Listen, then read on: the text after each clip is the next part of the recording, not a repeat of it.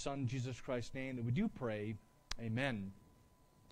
You know, perspective is a very important dynamic in our lives. I mean, a person we don't like or don't agree with does something and we get all upset. Uh, but then someone we like does the same thing and we give them all kinds of grace and understanding. I mean, do you find that in your life? I remember one time where I was stopped at a stoplight and someone came behind me and tapped my bumper. Now, I'm not sure how much road rage you have, um, but I'm one that's pretty passionate about driving. You know, you'll find me like trying to be the Holy Spirit to everyone on the road. But as I try, as I started turning around and about to, I don't think I was about to flip him the finger because I don't think I would ever do that. But to do something angry, I noticed behind the wheel is Steve McGowan. and he just playing with my head. you know, just but you know, realize that, that was back in the day when I drove this beat up brown Mazda that was probably more damage that would come to Steve's car than mine. Uh, but again, just how radically that changed in terms of my perspective. You know, just in light of the tie that I'm wearing today, an interesting thing happened, you know, in terms of that as well, that there was someone visiting the church for like six months. You know, was really starting to engage in terms of being here and so on and so forth. And at one Sunday, I told the congregation that I was a Green Bay fan. And he came up after me and said, You know something? Longtime Chicago Bear fans, I enjoy your teaching, but I can't be here. And so, how that changes some, you know, again, I, but I can't go to him and say, like, I don't understand that, like, that's a wrong thing to, to think. But for someone who values something in that way, you know, something, again, we would agree that's a very disputable thing, but for that person, it wasn't. And so, again, how perspective leads to a lot of things. Well, I think certainly God's word gives us the right perspective, and that has a lot to do with what Paul is saying in Romans 14 as he addresses the church de- dealing with disputable matters amongst themselves. And the perspective Paul encourages the most in these matters is love for one another. You know, how love conditions us, how love gives us a certain perspective in terms of how we would then treat people and ultimately care more about how they would internalize our behavior than living in behavior just because we feel like we have the right to do so. So let's pick it up in Romans chapter 14, verse 19. That's kind of where we stopped last week. And so we want to continue on in terms of just understanding what Paul has to say in this context.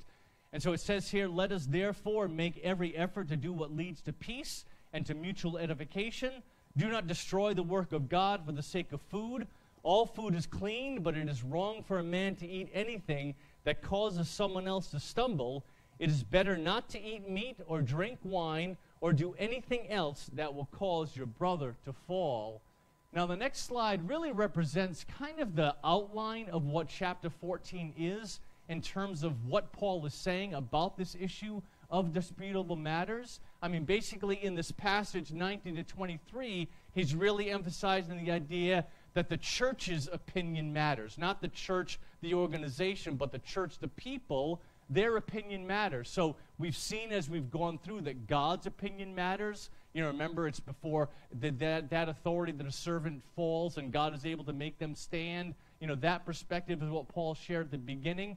It's, he says that your opinion matters, your mental process, how, how you come along in terms of your development and your conscience. And, and basically, particularly when it comes to disputable matters, you know, no one has a right in this moment to come along to you and say, you're wrong, you're, you're, you're looking at this in the wrong way, so you've got to do it different.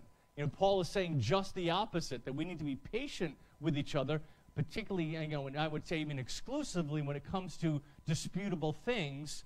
And then we saw last week that the unbeliever's opinion matters. Again, don't let what you consider to be good be thought of as bad in terms of what an unbeliever would think about how you use your freedom. And again, verse 19 through 21, really into 23, is speaking about, again, how the church's opinion matters. And now, when you think about other people that are believers, those opinion matters as well.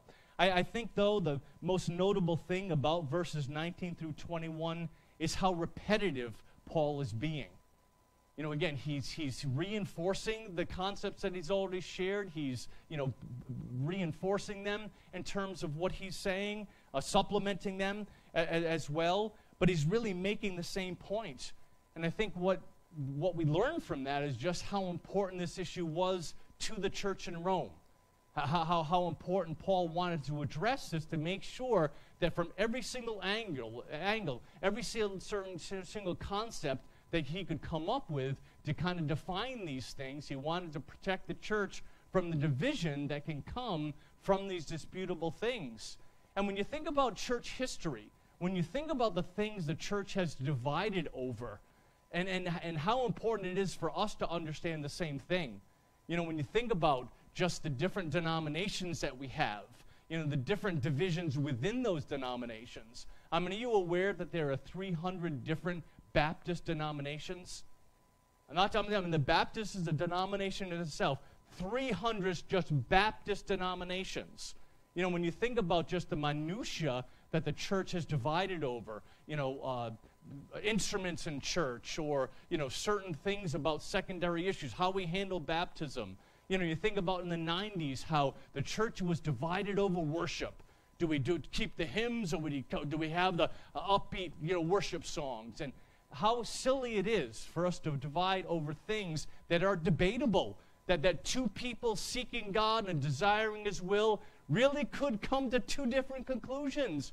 But rather than arguing that point and dividing over that point, Paul is saying, find that place of unity, find that, find that place of understanding, find that place of peace, and that is really where he goes in verse 19. You know, when it says here, let, let us make every effort to do what leads to peace and to mutual edification, this whole uh, concept of making every effort, it is, a, it is a fair translation of the concept that is, that is there, but the words are actually to run swiftly in order to catch some person or thing and to pursue something earnestly. So the whole idea of this is reaching out, pursuing this, going after something. And what are we going after? We're going after this peace. We're going after this mutual edification. You know, that, that picture of peace that is given here is more about the peace between people than it is about the peace within each other. And so, therefore, to what extent are we passionate about that? To what extent are we pursuing that? Uh, to what extent are we making every effort? You know, this word edification is a big word in the scriptures, and it actually talks about building a building. And, and so, therefore, when we think about a person, and, and what would be required for them to be built up in the faith. You know, having a firm foundation in Christ, having a firm foundation in the grace and forgiveness that Christ brings, a firm foundation in the Word and the principles that are there, a firm foundation in the Spirit, and then being guided and built up in terms of the person they are in Him as well as the things that they should do. And, and, that's the idea. In the same way that you would approach building a house, the same way that you would approach building a shed or some, some structure, you know, you think about all the care you take to make sure, okay, let's make sure this, this board's in place. Let's make sure there's the right kind of nails and strong enough nails and long enough nails and, you know, securing it to the footings and all the things we do to make a building right. Well, how much more important is a person? how much more important is a believer? And so, therefore, rather than the focus being, you know, I can't, I can't stand that person. I disagree with them so much. I can't stand when they talk about this thing or they talk to me about this thing and they talk about things that are different than me. Don't think about that. Don't let that be your preoccupation. Yeah, you let your preoccupation be about peace, about harmony, about being together. And again, making every effort to do that. I mean, what does that mean to you? to make every effort to passionately pursue peace and edification. You know, building people up rather than tearing them down. You know, have, having this harmony that should exist. Having the harmony that, that Jesus prayed for, to have the harmony that Jesus encourages, that the Holy Spirit empowers in terms of that. See, I think it, to, to me, what making every effort means is that first, we think about the intentionality with which we operate in our relationships. See, to me, I think it starts with maybe taking an assessment of where I am right now. To what extent do I have peace in my relationships? To what extent is there harmony? To what extent is there's nothing in my heart that I hold against someone else? And hopefully, to the best of my ability, that I'm not aware of anyone holding something against me, but certainly being the kind of person that is open to the engagement around fixing things.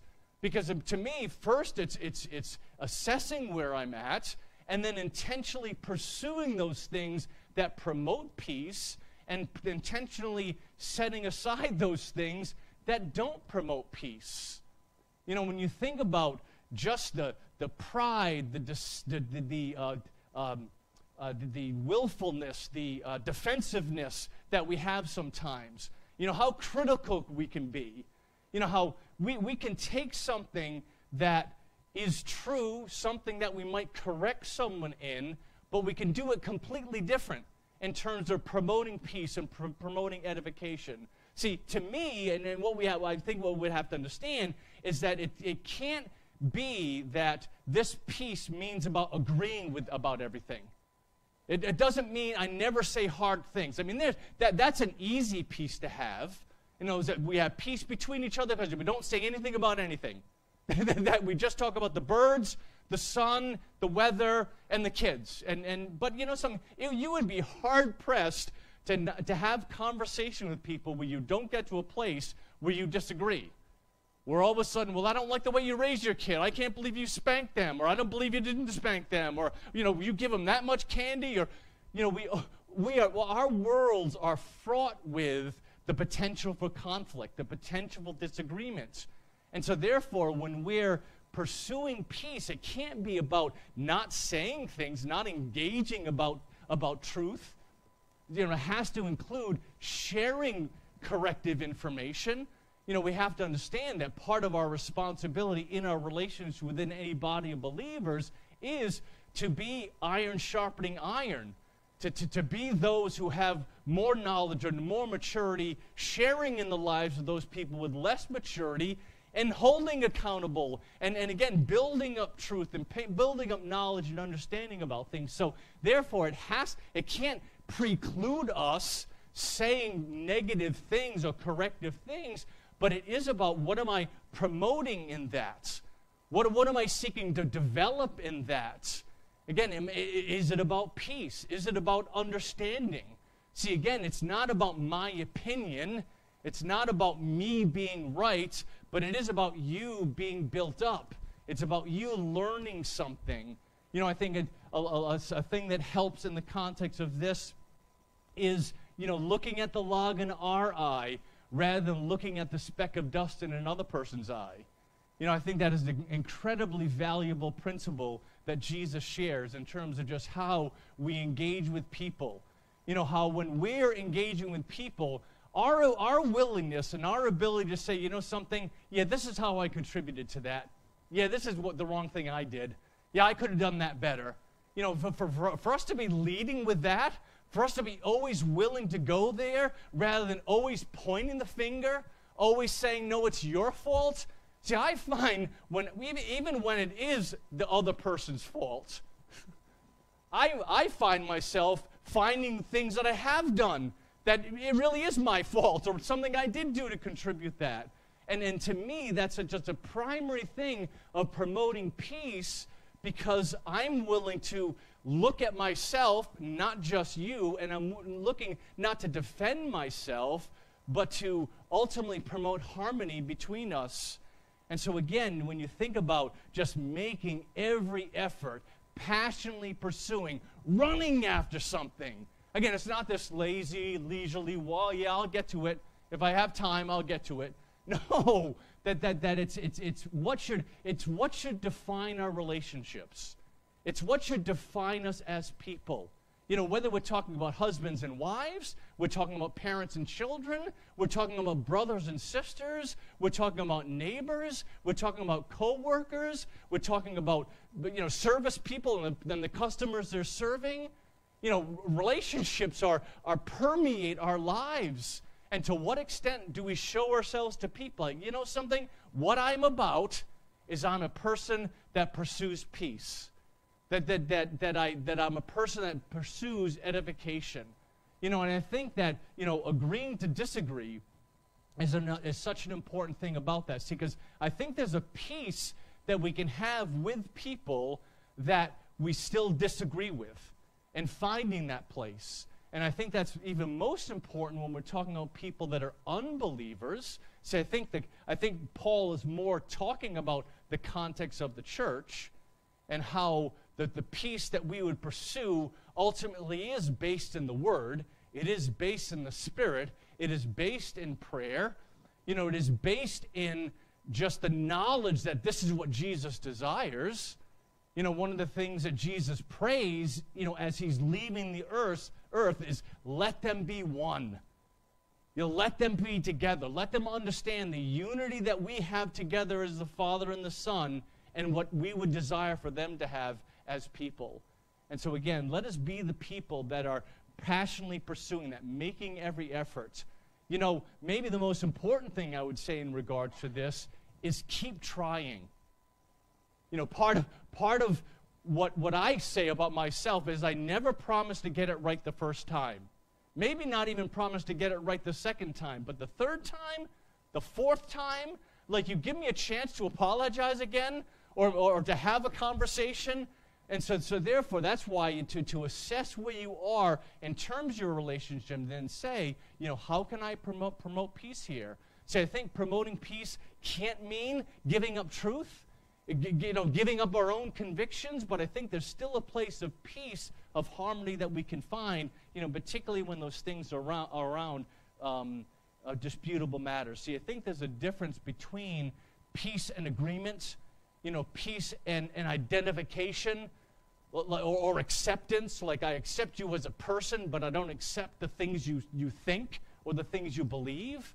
And, and, but I think we still find that place of peace that exists, that place of, of where, where we do agree. Like even in the midst of people that you disagree with, there's always some place to find that you do agree on, and just trying to foster truth trying to foster the knowledge of God in the midst of those things. Uh, so, so again, let, let us make every there, let us therefore make every effort to do what leads to peace and to mutual edification. It says, "Do not destroy the work of God for the sake of food." You know, Paul reveals here that uh, you know p- part of his uh, emphasis and, and part of the, the, the, one of the main disputable matters in the church in Rome was about food. And we've talked about that before about why people would have different convictions around food. Uh, but the, the word destroy here is intended to be juxtaposed with edification. In other words, what do I have here? Do you come with hammer and nails or do you come with a wrecking ball in terms of dealing with a situation or confronting people? You know, am I doing okay? You know something? This is going to be a hard conversation. I know I'm confronting them with something that is difficult for them. Well, you know something? Let me make sure that I approach it like a contractor that's trying to secure that wall. You know, that wall is vulnerable, a strong wind, something could happen. You know, it's got some rod over here, and I've got to address that. But let me treat it gingerly to make sure eventually I can get it to stand. As opposed to I'm coming with a sledgehammer, I'm coming with a wrecking ball, and I'm just knocking it over. Again, what, what, what is our intent? What am I trying to foster? And, again, that's the, the, those two things are set side by side. And that, I mean, if you haven't been with me long enough to know that juxtaposition is one of my favorite words. Um, and it's two things set side by side for the sake of comparison. So it's, it's either are you edifying people or are you destroying them? Are you knocking them down?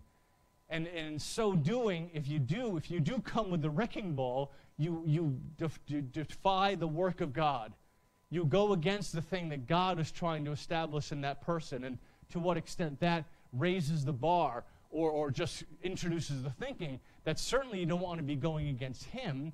You know, when you think about the work of God, you know, you think about what Paul has said earlier in this chapter in terms of, you know, the kingdom of God is about righteousness and peace and joy in the Holy Spirit.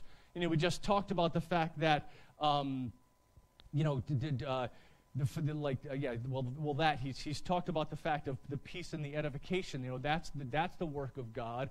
But then think about the work of God in a person's heart in terms of forming their conscience, in terms of revealing truth to them you know, bringing them up in terms of what they would perceive to be right, what, we, what they would understand in terms of the freedoms they have.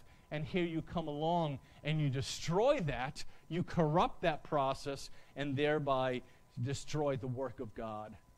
And so again, food is not as is not important enough. That disputable matter is not important enough. Food, drink, whatever is not important enough in terms of the work of God that is there. You know, in the second part of, of 20, he does he does affirm, you know, what he believes. Um, you know, all food is clean. You know, there's nothing wrong about the nature of the food that makes it unclean. Uh, but it is wrong for a man to eat anything that causes someone else to stumble you know, that there are issues with food at that time, you know, primarily it would be about how much blood is in an animal. Like there would be Jewish restrictions about the meat not having blood in it. It would have to be with whether it's a clean or unclean animal. And as we've seen, it could also be about whether that meat was uh, purified or was brought before an idol for, for it to be purified by the idol you know, in terms of the faith that, you know, that the pagan religions had. And so some people would say, well, again, all those things don't matter anymore. We're free to eat any, everything. And other people wouldn't. And Paul's point is, yeah, it's all clean. Yeah, it's all good. But certain people don't think that way. So because for them it would be wrong to do it, then you shouldn't do it in front of them and therefore cause them to stumble that they eat and, and their, their conscience is corrupted. It is better not to eat meat or drink wine or do anything else that will cause your brother to fall. So, so, so basically, Paul is you know, focusing on this issue of food, but then he translates that and, and basically expands it to all issues that are disputable. A- anything that, again, you might argue a point for or against in terms of that. Um, you know, it's, it's, it's just it's just funny how, you know, different people have different takes on things and how they would come to different conclusions in terms of, well, I really believe the Bible says this, or I really believe that God says that. And it's like, really? Well, like, here's what I think about that, and this is what I understand about that.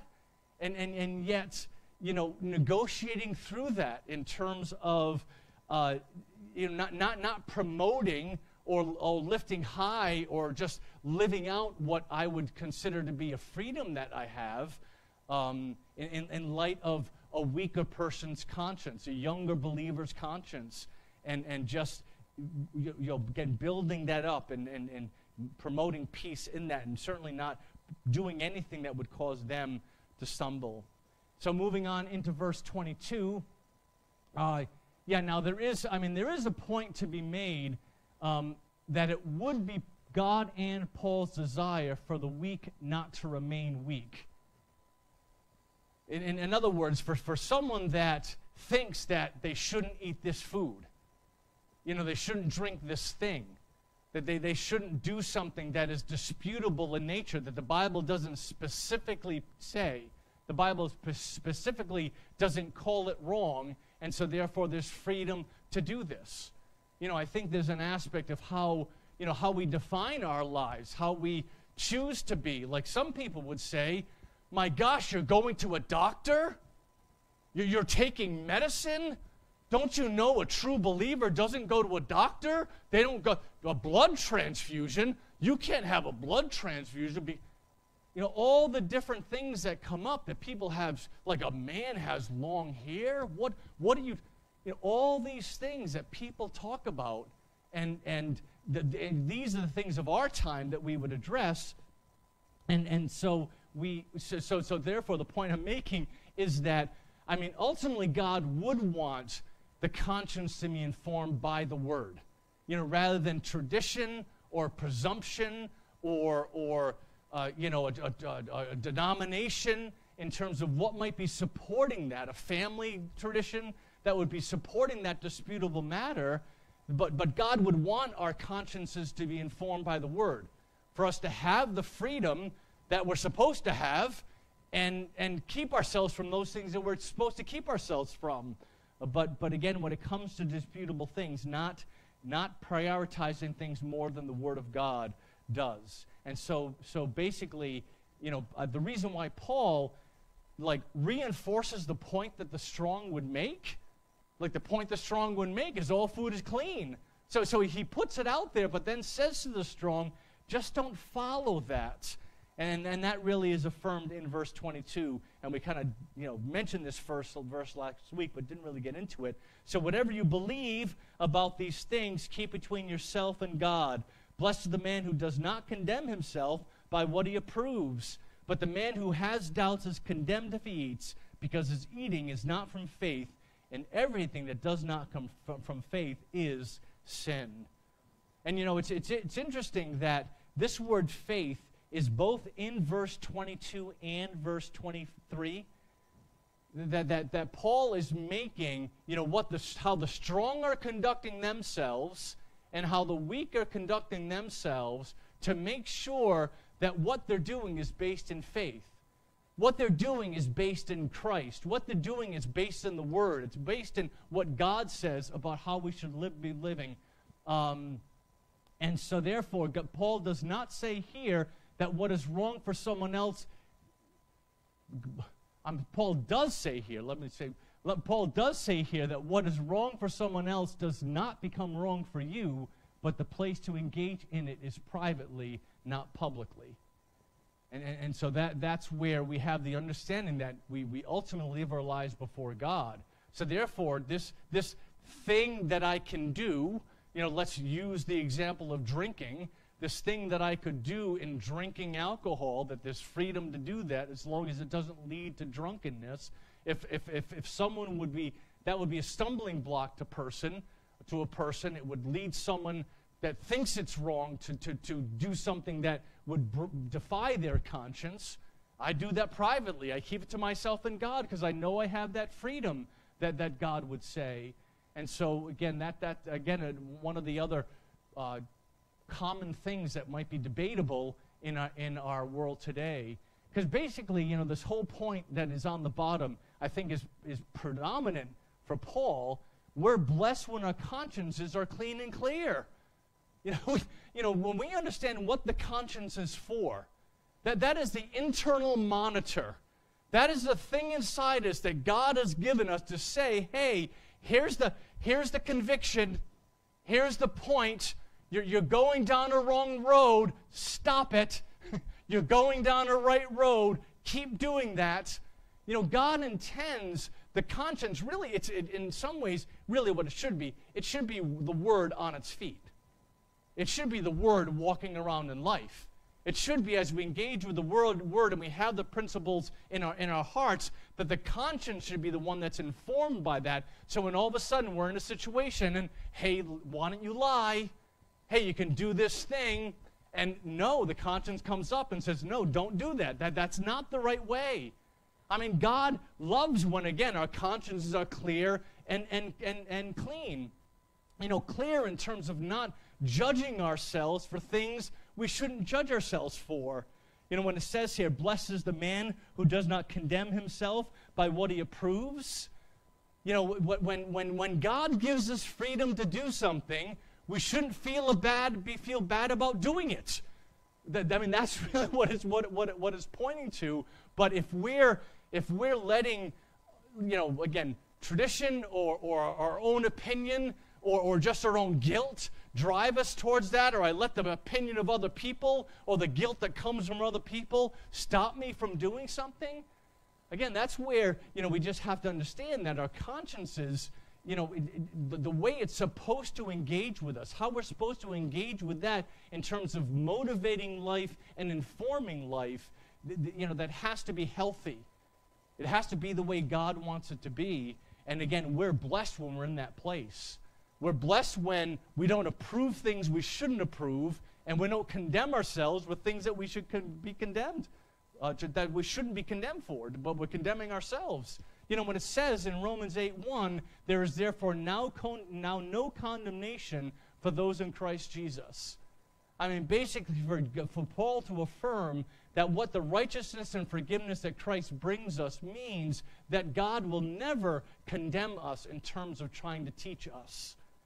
That, that, that whatever, whatever condemnation we might face is always from the kingdom of darkness. That is his means to condemn us for things for things that we haven't even done that are wrong or things that have been forgiven, bringing up the thing you did five years ago, two years ago, six months ago, and, and causing you to be guilty over that rather, rather than trusting in the forgiveness that Jesus offers you. And, and so basically, that, that's the whole point of Paul that, that you know, you have to understand as a strong, you can't abuse someone else's conscience by what you're doing and therefore corrupt the work of God. You know, because again, God is, God is developing and transforming that conscience, and He wants to do it with, with all of us. Uh, so again, we would be in that place of blessing, of that place of harmony with God, that, you know, something I'm informed by God, and I'm, I'm proving what He would approve, and I'm not allowing myself to be condemned for things He would not you know, correct me for. He would never condemn me about anything, but correct me, correct me for. And, and that's kind of what the conscience is all about. But it says here, the man, but the man who, who has doubts is condemned if he eats because his eating is not from faith. And so this is the other concept that Paul wants to reinforce about how so many of our decisions are based in the things that we believe. So many of our decisions are based in faith, and we reflect that faith in what we do. I think Paul's point here, again, just for the sake of those that weren't here, eh, you know, before, you know, I think we can understand what Paul is saying here. That, that you know, in other words, if you think that, um, you know, shellfish is something God would not want you to eat, that you can point to scripture that says don't eat shellfish, and so therefore I'm convinced I don't eat shellfish.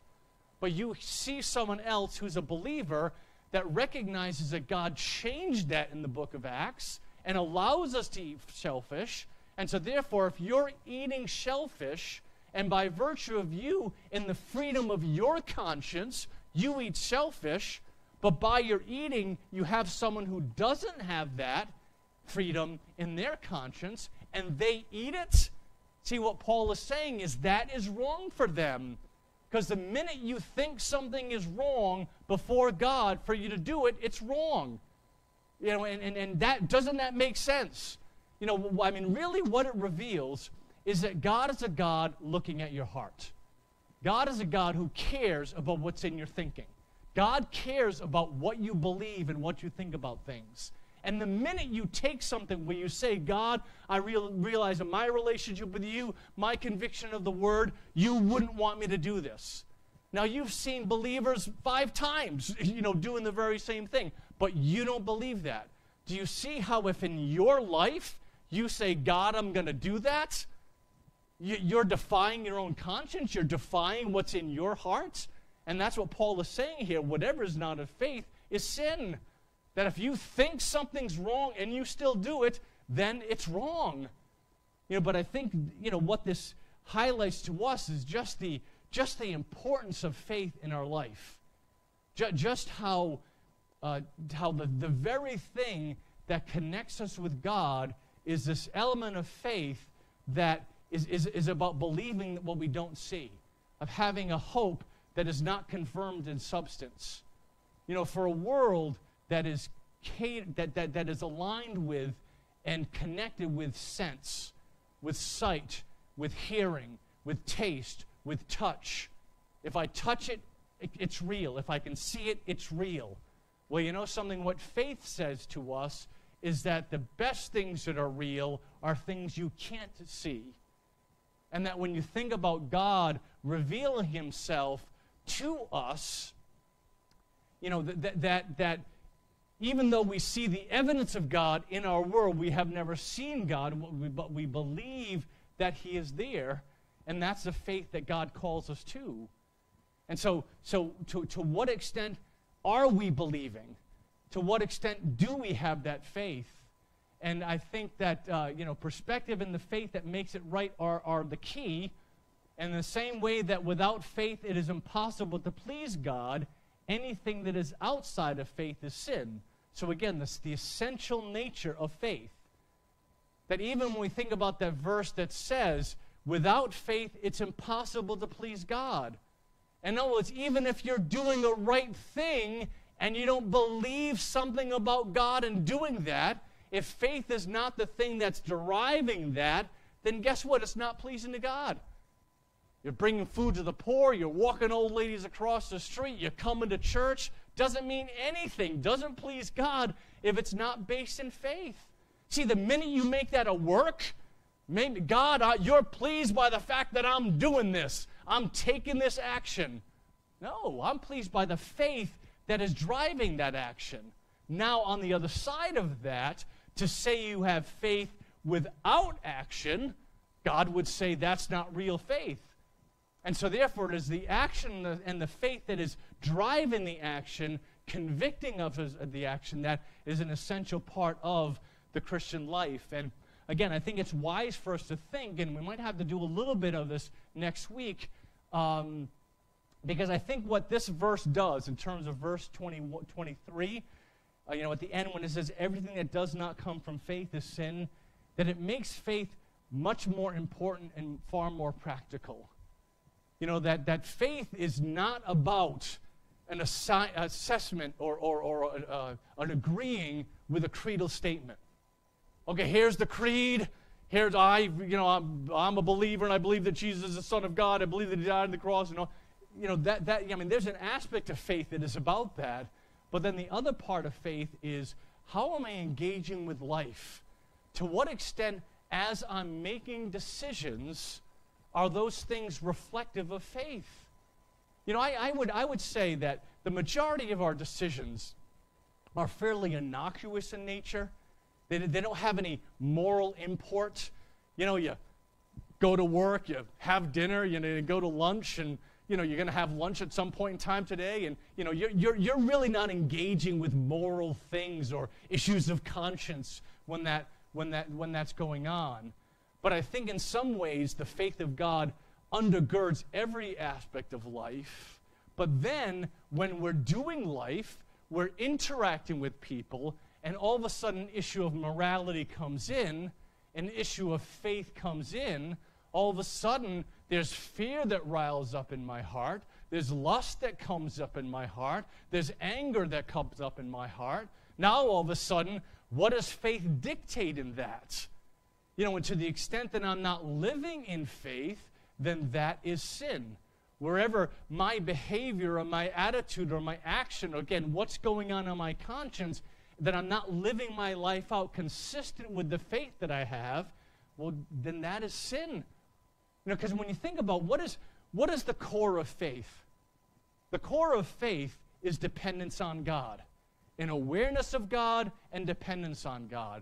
The core of sin is independence from God. And so, therefore, to the extent we don't believe God in things, well, that is sin. Because what we're showing in not believing is that we're independent from Him, that we don't need Him, we don't believe Him, we don't trust Him in terms of what He is saying.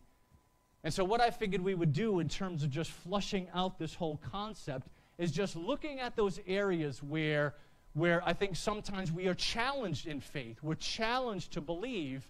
And the first thing really does have to do with unbelievers. You know, so how is your faith, the faith these days? And that is believing that God even exists. You know, where are you in terms of just the affirmation in your heart that God is real? You know, when you think about the primary questions that need to be resolved in that, is where do we come from and who is Jesus? You know, I think more often than not, what the world is being tripped up on are, are the actions of believers or the example of believers or certain principles that are in Scripture. And yet, the starting point really should be who is God? Where do we come from? And who is Jesus? And when you think about all the Bible would say, in, or not the Bible, but what the world would say, what, what the creation would say about the reality of God, the reality of God being our creator, you know, I think more and more what science is going to be, what science is going to find is that there is irreducible complexity in creation. That as far as they study, as far as they look at things, that they just can't help the idea that this couldn't happen by accident. You could have trillions and trillions and trillions of years, and it still couldn't happen. That when you think about the systems that happen in terms of geology and cosmology and the human body and environment and ecosystems and all the different things that make things work. There, there is too much miracle, there is too much wonder, there is too much intelligence in all of it that, again, it, it, it, at some point it will become undeniable. You know, on Wednesday night, we're in a passage in, in the book of Acts where, in the church of Ephesus, that, that, you know, God is doing miracles, Paul is doing miracles, you know, people that are evil are being disciplined by God. And, and it says people in droves are coming out and they're, they're burning their witchcraft elements and they're, to, you know, ridding themselves of the things that are apart from God. And the point I see in that passage is that the power of God was undeniable that they couldn't help themselves being confronted by the power of God. This has to be true. This has to be real. If it is, I have to be transformed. I have to take, you know, set aside the things that I was helping define life and, and define, my, define my life by God and who He is. And I think when you truly assess creation, I mean, when you think about the answers the world has, when you think about the answers science has, you, you, you have to realize that um, you, you have to believe that too. See, you have to have, I would say you have to have more faith in terms of what it says in, in terms of an evolutionary process that there's no evidence for at all, and yet the evidence in terms of a divine creator, an intelligent designer, I think that more and more as we get better at assessing creation, we are going to see that th- there's just too much wonder here. That, that you know, they, they keep, they keep you know, looking at the, the, the extents of the universe, and it just keeps getting bigger and bigger and bigger. Like they're waiting to find a wall, and there is no wall. That that creation is just finite. And why is it there? To manifest God's glory, to show humankind that, hey, I'm here and I'm real, you know, I find it interesting that the world is very passionate about finding life in other places. You know, realize that for us as believers, it's no problem for our faith at all if life is found someplace else. But if life isn't found someplace else, that's a real problem for evolutionists. evolutionists. Like if their principle is life just happens, life just makes it makes itself grow, well, why doesn't it happen in other environments? Why isn't there some other organism that could make it on Venus? It could make it on Neptune. It could make it on Mars. If, if again, if, if, if life and, and, and just the elements that are part of a creation that came together by accident had the means of producing life, well, why on just one planet in an expansive universe is the only place that it exists? See, to me, that's intention. See, to me, that's design. To me, that's care. To say, yup, one place is going to be fitting for the people that I create to live. And, and, and just, you know, what, what, what problem that is for evolution in terms of they, ha- they, ha- they haven't found life. You know, they're, they're excited when they just find water some aspect of water. Well, what's what's a big deal? You well, for them, water is the is the that's the mother of life. That's where life comes from. But, but really, like, all these other places have had, a, you know, all these, all these other planets and all these other uh, galaxies have had as much time, or maybe relative in, in cosmic years, you know, the same time that we have had to develop. And so, therefore, where, is it? Where, where, where's the proof?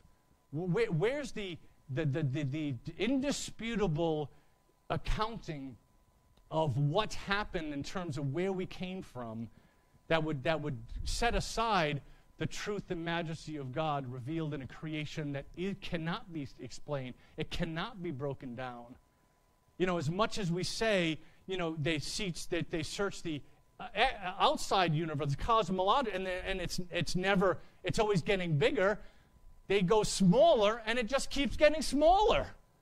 And, and, and I, I do believe that creation is infinitely smaller and infinitely bigger. That they were going to find the quarks that are the this and has this element and that element. And you know something? They're going to come to a place where it's just not, it's unexplainable. But then beyond that, to think about Jesus, to think about the life he lived, the person he was, the death he died, the miracle of his resurrection. Again, those are the places to start because, because if God is real, if God exists, now all of a sudden he, we're accountable to him. Now all of a sudden we have to wonder who is he and why has he made us? And see, that's where Jesus comes in, where Jesus comes to represent the Father as God to show us this is what God was about. This is what God sought to do. This, this, is, this is the provision that God is making to make you right with Him. And so to think about the miracle of who Jesus is, the miracle of how He came, the miracle of what He performed, the miracle of His, of his resurrection, and see, those are the places to start. Like you're wondering, okay, what is gonna what is gonna convince me to make that leap of faith to say, yes, I believe in Jesus. Yes, I want salvation. Yes, I want connection with God. Is first to really assess, really, you have better answers in terms of where we came from? You have like you have argument to say no, Jesus was false. He was wrong. He, he, he wasn't, he didn't do what he did. He, he didn't die the way he died. He wasn't raised. See, that's the opposite of faith. The opposite of, opposite of faith is rejection. And so, really, you're going to reject that? Why? Like, have you really assessed how God is revealed, how God is manifest? Oh, but I don't like this part of Scripture. I don't like what it says about this or that. Eh, don't, don't start there. Because just like you, you, you engage with God in terms of the understanding He has and the glory that He is, now all of a sudden you, you believe and understand why He has said what He has said. But the, but the fundamental aspects of that are where did you come from and what about the cross? But we'll, we'll talk about some other things uh, that, I, that I think press our faith. Uh, to, you know, as we think about, okay, if, and everything that does not come from faith is sin. That, that, that faith is a, is a fundamental aspect of the Christian life. And I think there are certain things in our lives and our world that press us in that faith, and we'll have to get to that next week. Let's bow and let's pray. Father, we thank you for your word. Uh, we do thank you for uh, just what kind of people it makes us. We, we thank you for the love and the kindness that you empower and make possible in us. I thank you for the truth that you do make undeniable for those who would see and those who would be willing. I, I just pray that this morning, uh, both those joining us online and those here would be willing, uh, w- willing to open themselves up to a God that, that has manifested himself in creation, a God who has revealed himself in Jesus and, and just accomplished great things through him, both in his life and his, in his death and his resurrection. And so, Father, I, I just pray uh, that you draw people to yourself, that, that you make your presence with them. Uh, Father, bless their seeking as they seek for you with all their hearts. And Father, for the rest of us, I, I just do pray that you would uh, confront us where maybe our faith is, fa- uh, is failing. Uh, confront us with the, the things we're not believing you about. And, and just help us to see ju- just how a lack of faith in you is at, is at the foundation of every act of disobedience, of every willful thing. It's ultimately believing something about the lie and not believing something about the truth. And so, Father, I just, I just pray that you, you help us to make those kind of connections in our hearts. And so we just thank you for our time together, and we just lift these things before you in the matchless name of your Son, Jesus. Amen.